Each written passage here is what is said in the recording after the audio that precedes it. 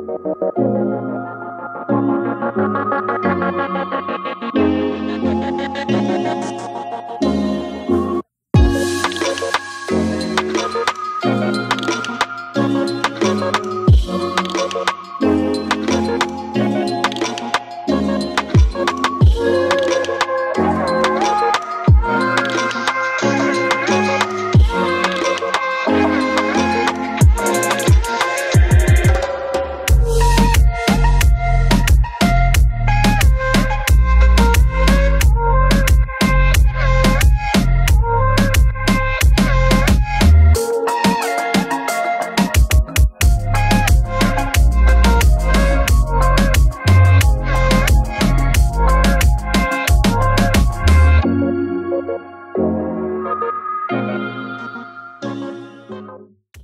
Hello, hello, bună dimineața din Paradis! Ne bucurăm să vă aducem lumina pe care o avem noi aici, chiar și cu ochelarii pe ochi ne, ne, ne umple fața de lumină. Suntem în Florida și mai exact în Tampa și un pic mai exact în Clearwater. În zona de plajă și ne-am cazat la un Airbnb care cândva credem noi că a fost un motel. Dar un investitor probabil a făcut o investiție foarte bună, o cumpărat tot și l-a transformat în Airbnb, destul de curățel, puțin vechiut, o să vă arătăm mai încolo, deși nu e nimic extraordinar, dar important e că e curat, ai o grămadă de uh, bucătărie, sufragerie, masă, da, ai loc să te desfășori și asta a fost important pentru noi, că iarăși am luat prea multe bagaje, dar cel mai, cel mai, cel mai bun lucru la Airbnb-ul ăsta este că suntem la doar două minute de plajă și... Asta ne-a vândut cu totul. în momentul în care l-am rezervat, nu am știut exact cum stau lucrurile. Aseară, în schimb, am observat că stațiunea asta, Clearwater, se împarte cam în două. E zona băștinașilor, cumva, așa în ghilimele, a localnicilor. Și apoi zona mai agitată. Și zona mai turistică. În Airbnb-ul în care suntem cazați avem și piscină cu apă dulce. Dacă în caz că ne sărăm prea tare, să ne desărăm piscina e deschisă și am văzut că e deschisă chiar și noaptea. Dar sincer, apa e atât de caldă și plaja e atât de superbă că nu prea vine să dai piscina. Nu prea vine să dai oceanul pe piscină. Suntem pe o limbă de pământ, în stânga e apă, în dreapta e apă din nou. Oceanul, bineînțeles că e în față unde mergem noi acum, dar în spatele nostru e Tampa. Și un lucru care mie îmi place tare, tare mult e să văd semnele astea cu protejarea broscuțelor testoase care vin să-și pună uh, ouăle aici și uite, perioada de uh, nesting, probabil cu tot cu punerea ouălor și ieșirea lor, e din mai până în octombrie 31 și ne avertizează să avem grijă până și cu uh, castelele de nisip să le stricăm atunci când plecăm de pe plajă pentru că le încurcăm traiectoria spre apă și le scade rata de supraviețuire.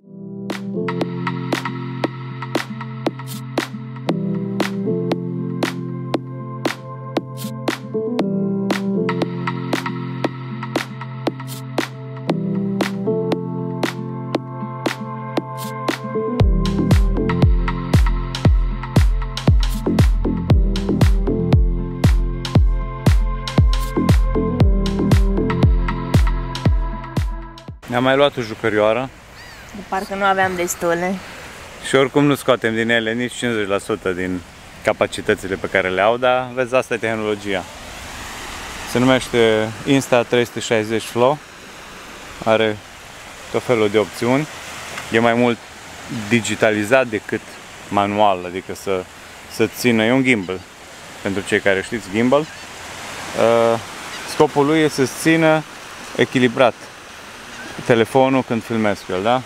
Și ia priviți pentru ce am venit noi de fapt aici, minunăția asta de plajă, care pare foarte virgină, foarte neaglomerată, dar undeva acolo unde vedeți uh, umbrelele, acolo e nebunia. Sincer, nouă ne cam place senzația asta de plajă privată cu foarte puțini localnici. E atât de frumos să ai plaja asta pentru tine și apa și să auzi valurile oceanului, absolut splendid. În timp ce Mr. Tamaș citește acolo un vinetu, Eu mă stresez pentru că în jumătate de oră o să am primul meu interviu. De fapt e al doilea, că mai avut un internship la, în arhitectură, dar uh, o firmă m-a contactat acum câteva zile și prima dată vor să facă un interviu la telefon și mai apoi să facem un interviu în persoană dacă totul decurge bine. Acum să vedem, eu am foarte mari emoții, sper să mă descurc. În general, când am emoții, mă mai și bâlbui, dar spre avantajul meu, șeful, care probabil el o să, mă inter- el o să ia interviul, este și el imigrant, așa că o să înțeleagă și problema asta uh, a mea cu emoțiile și cred că o să fie bine. Eu sunt pregătită să vorbesc despre lucrurile pe care le știu, nu cele pe care nu le știu și să îmi dau silința să arăt ceea ce sunt eu, măcar așa prin telefon, că e cam complicat, sincer. Mie mi s-a părut ciudat când mi-a spus că vrea să fac prima dată un interviu la telefon. Așa arată o față de om fericit. Am avut un interviu foarte, foarte bun. Uh, am vorbit cu fondatorul firmei, mi-a pus multe întrebări. Mă așteptam să fie o conversație de 10 minute maxim. A fost o conversație de o oră și am vorbit despre tot ce se putea vorbi. A fost practic un interviu în toată regula, dar la telefon. Urmează ca eu să se gândească și să-mi dea răspunsul în câteva zile, dar eu cred că a fost foarte pozitiv și nu mă aștept la uh, un refuz după cât de bine am mers conversația. Am vorbit și despre arta mea și mi-a spus că de ce, cum am putut să nu pun nimic în portofoliul meu despre artă, pentru că mulți oameni ca și el adoră partea asta artistică și caută în uh, internii care aplică să fie uh, foarte multă creativitate, așa că i-am spus că pe viitor, cu siguranță, o să adaug și arta în portofoliul meu. Uh, am povestit despre experiența mea, despre ce așteptări am de la jobul lui, de ce am ales, cum a fost experiența mea la internship-ul trecut, cel pentru aeroport.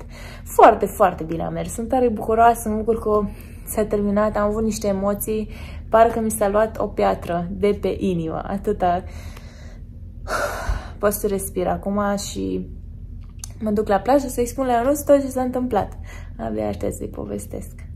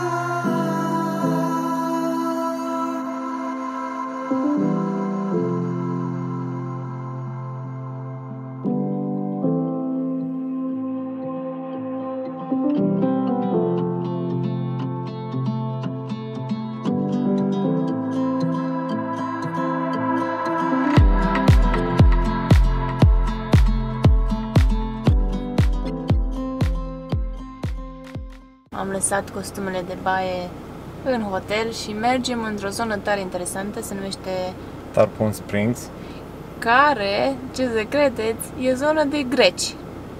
Uh, ne-am găsit-o în top, loc, top 10 locuri de vizitat în jurul Tampei și ne-am gândit că dacă tot e așa mare canicul afară și noi ne-am cam curjolit ieri și am stat și dimineața asta la plajă, așa că am bifat și uh, ziua de astăzi. Exact. Să mergem și să explorăm puțin împrejurimile.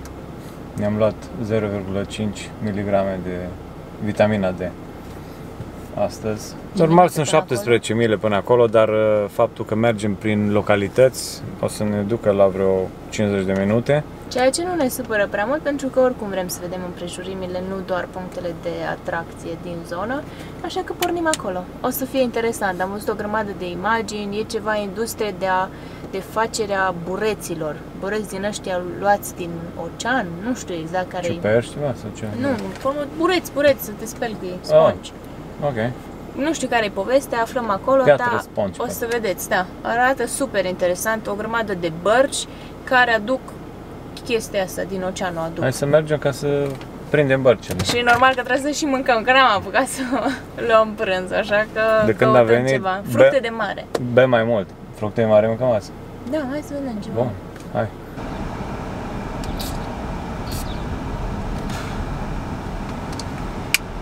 Dosier. Nu, la, nu te lasă la greu.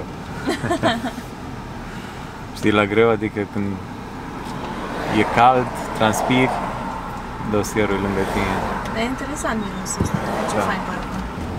Au așa multe variante încât degeaba vă spunem numele dacă nu intrați pe site-ul lor să le verificați, să vedeți acolo lista, lista, listă mare cu tot ceea ce îți place. Nu, nu există să nu găsești un miros care să fie pe placul tău.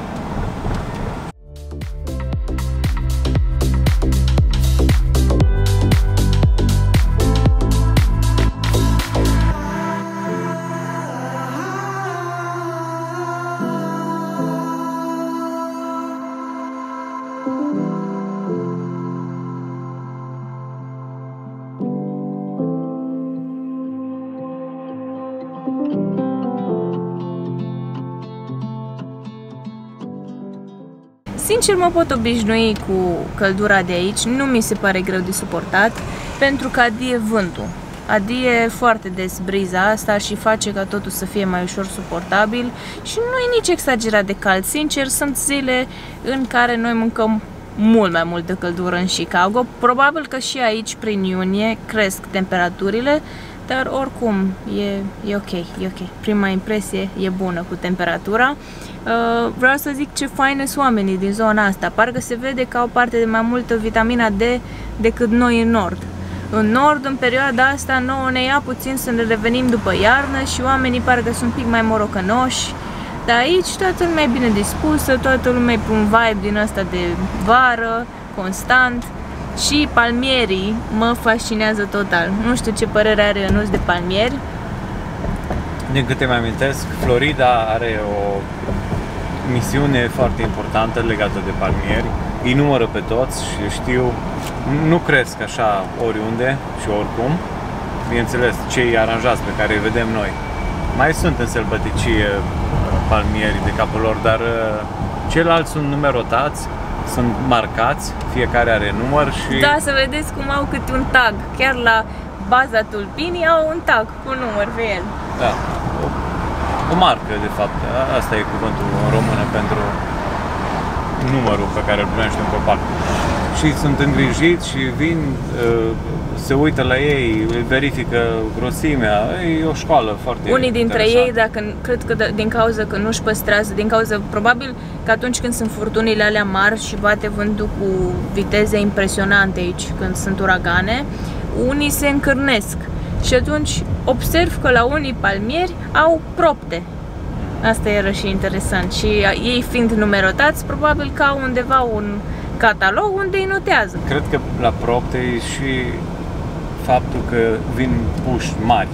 Ei se iau din Da, pepiniere da, da, da, da. și atunci până când prind rădăcini în sol, Și li aia se dă poate. sprijin ca să prindă.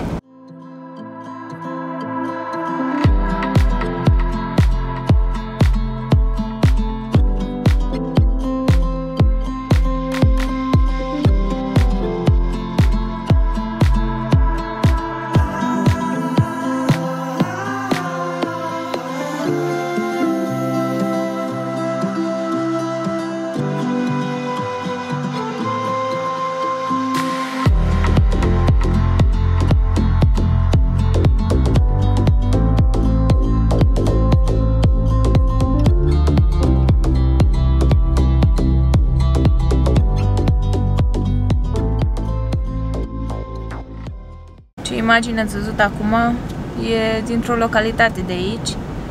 Foarte, foarte frumos și totul e curat, totul e pus la punct, ați văzut în imagini. Splendid, ne place tare mult. Vreau să ajungem într-o locație unde se coc uh, portocalele. Ce zici? Este aici, în tabă? Ar trebui să fie. Trebuie Știu să că uităm. undeva lângă Fort Lauderdale era cu mango, fermă Oh. de mango, doar că atunci când ne-am dus noi nu era încă sezon și n-am putut merge. Trebuie să vedem ce fructe cresc exotice în perioada asta și să dăm atacurile. Așa, Vai, uite ca- cât palmier vine acum în față, stați să vedeți. Ia uite. Am ajuns și parcarea e ok, e accesibilă. Dacă plătești cash și 7 dolari all day, adică pe toată ziua, dacă plătești cu cardul e 10 dolari, pentru că au ei tot felul de fiuri și atunci e mai scump. Și e tare, tare frumoasă zona. Uite, acolo în spatele meu e docul. Undeva încolo am văzut Sponge Factory, adică fabrica de uh, bureți, pentru că mai de mult așa se făceau bureții. Acum totul e sintetic și se face mai ușor.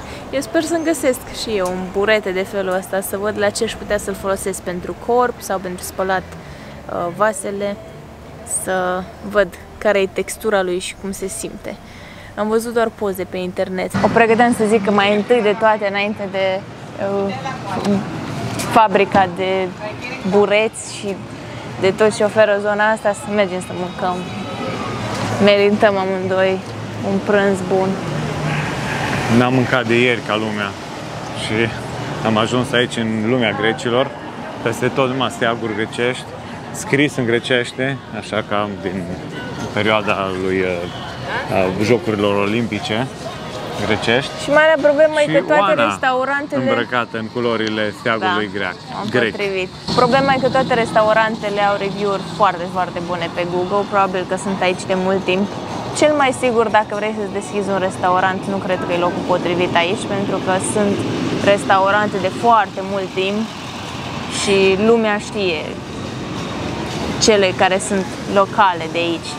Nu e o zonă nouă, e o zonă mai veche și asta se apreciază, așa că e un pic greu să găsim Dacă vei să parchezi cu mașina, te uiți bine, parcarea variază de la 3 dolari la 10 dolari și poate să fie la pasul următor 3 dolari sau 5 sau 10.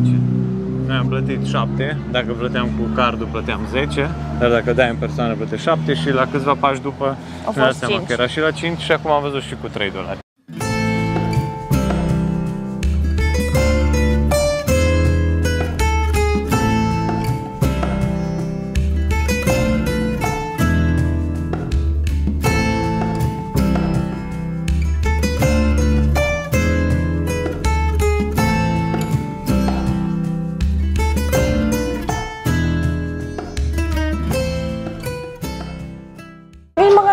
Să alegi. Ne-am zis că mergem la uh, Costas.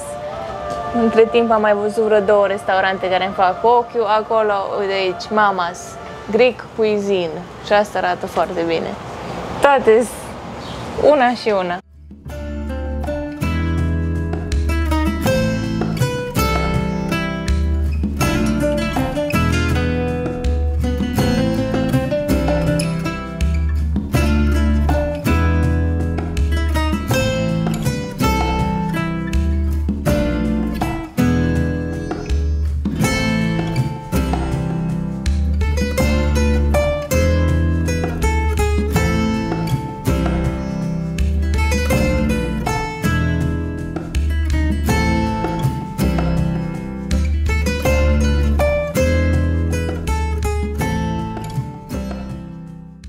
După muncă și răsplată, așa se zice pe la noi. Acum ar merge în pui de somn la câtă mâncare a fost și la cât de bună a fost și la cât de drăguț a fost și ospătara și serviciu și tot. Merge în pui de somn zdravăn la răcoare. Suntem în uh, inima Tarpon Springs, așa cum am mai spus-o, o localitate în Florida. Și aici am dat de un, des, de un uh, răsfăț culinar la maxim. Sincer, chiar ziceam noi că trebuie să mai venim o dată înainte să plecăm, pentru că pe plajă acolo găsești restaurante, într-adevăr, dar nu sunt atât de speciale ca aici. Acolo sunt genul ăla de puburi, uh, de cu cafenele, înghețat. Tipsite cu burgeri. Da, fiecare e diferit. Fiecare restaurant are propria lui experiență și vreau să mai testăm câteva, dar la, la cât cred că vii și testezi unul, nu poți să testezi mai multe. Pentru că ia priviți. Avem și la pachet, că n-am izbutit să mâncăm tot. Porția mea de pulpe de miel, de fapt au fost două pulpe, ați văzut cantitative. Eu nu ți reușit să mănânce una. Când bine mi și mâncat de la mine un pic, da? Da. Foarte, foarte mari porțiile și dacă sunteți curioși de preț, uh, porția lui Ionuț a costat 19 dolari și porția mea 25. Mie nu mi se pare mult, cam astea sunt prețurile în America și în Chicago, dacă iei o porție generoasă la un restaurant decent, o să dai 20 de dolari pe orice, fie ea că e o pastă, fie ea că e o pizza, cam 20 de dolari acolo se învârte o porție. Uh, pe partea de alcool, dacă sunteți băutori de bere și consumați, era una cu una gratis. Deci grecii o dau bine pe toate părțile. Dacă nu-ți place berea, De poți să toate. bei vinuri Aveau și vin, da. și alte lucruri, margarita. Desert și... a fost din partea casei, am primit și supică, tot din partea casei, cu pâine, cu unt și ulei de măsline lângă. Foarte, foarte bun.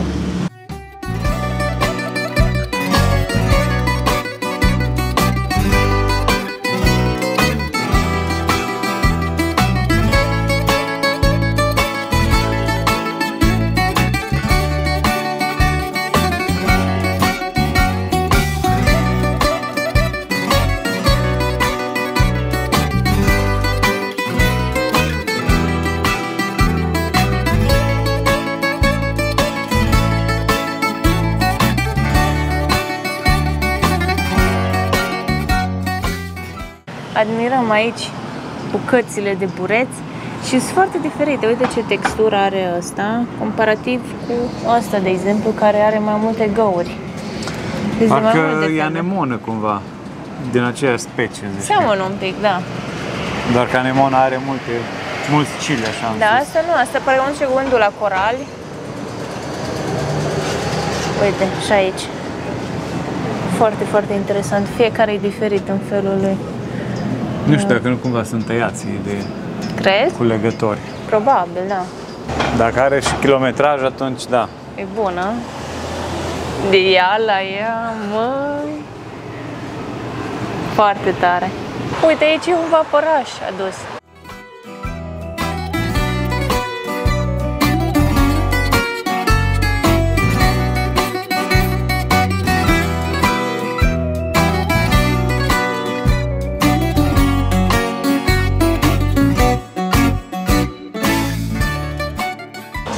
Acum citeam că barca aceasta a fost folosită pentru a lua bureți. Aici avem motorul probabil. Și aici ne 110 zice, cai. cât, ne zice câteva informații. A fost construită în 1935 și a fost folosită până în 1943. Și acum servește aici ca amintire, ca memoria ceea ce a fost. Și zice că a fost folosită în timpul celui de-al doilea război mondial, deci după 43, de US Navy, uh, ca și barcă de salvare în Golful Mexico. Și apoi a fost returned, adică a fost a revenit din nou la a face ce știe mai bine, la a lua bureți. Și a fost folosită mai apoi până în 1982, dacă voi ne să credeți. Iar mai apoi a fost pus aici ca expoziție. Eu vânez un Tarpon burete, Springs. tu vânezi Uite, o pe- cafea. Pe acolo văd ceva trecere. Nu, acolo scrie exit. Da, din zona Nu, asta nu și e. la din partea altă. Nu, nu, nu, că am văzut eu acolo bureți. Nu mai sunt burezi la ora Ba asta. da, ba da, la Șopurile intrare. sunt închise. Nu, nu, nu, că am văzut bureți. Te duc, draga mea, și îți iau copitonci din aia. Pa. Lasă tu, eu vreau bureți de aici, îți dai seama.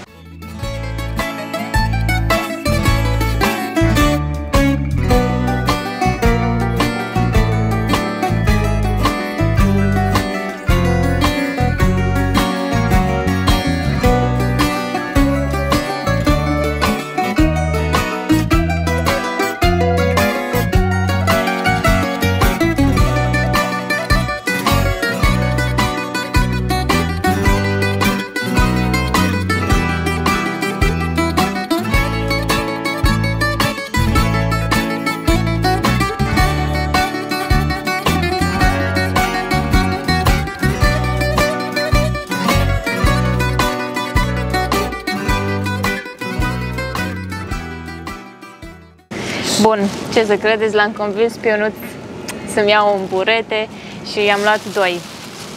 Pentru că L-am convins să-mi iau un burete și mi-am luat doi. mi-am luat doi burete. Sau, auziți cum sună. Pentru că, și stați să vă spun, a fost la prețul mirobolant de doar 11 dolari bucata. Și ce s-a întâmplat? Domnul a fost foarte drăguț și eu l-am întrebat dacă care e textura lor când sunt uzi. Sunt mai aspri sau sunt moști? Come here! Și mi-au băgat în apă și nu vreți să știți. E cel mai moale burete pe care eu l-am simțit în viața mea. Uite, ăsta este unul dintre bureți. O să-i și, le și pun nume dacă mă atașez prea mult de ei. Așa arată când nu e umed. E așa mai strâns și un pic aspru. Și ăsta deja începe să se usuce, dar e ud. Și e foarte, foarte moale. Și domnul îi lăuda că zicea că sunt naturali și nu au microbi, nu au chimicale. E un mod natural de a folosi bureți în loc să dai banii pe chinezării uh, și pe chestii făcute din uh, plasticuri și din alte prostii ce mai ne punem noi pe piele. Foarte interesant, foarte, foarte tare. Ce ai acolo? Bureți. De obicei, în luna mai, pe final de mai, în iunie, culegeam bureți, nu îi plăteam la magazin. Bureți adunați de papă din fundul oceanului. Ai, vezi, ai luat bureți și pentru soacră ta. Pentru mama soacră, Ea nu, nu că merită. nu-i bai. Ea merită pe toți. Toți Dacă o să-i bureții. placă. Dacă o să-i placă, că încă nu știm dacă Dacă nu-i place, acceptăm și refund. de la cine. La mama soacră, să ne dea înapoi dacă nu-i place.